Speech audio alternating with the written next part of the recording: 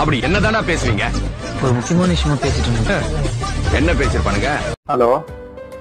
சொல்டா எங்கடா இருக்கா? வீட்ல சரி சரி. ஏன்? ஃபுட்டு எடுக்கிறியான்னு பார்த்தேன் மோடி வை டேய் உனக்குலாம் நல்ல சதே வராதுடா டேய். ஏன்டா இப்படி திட்டுற? ஒண்ணுல மச்சா போர் அடிச்சது அத்தான்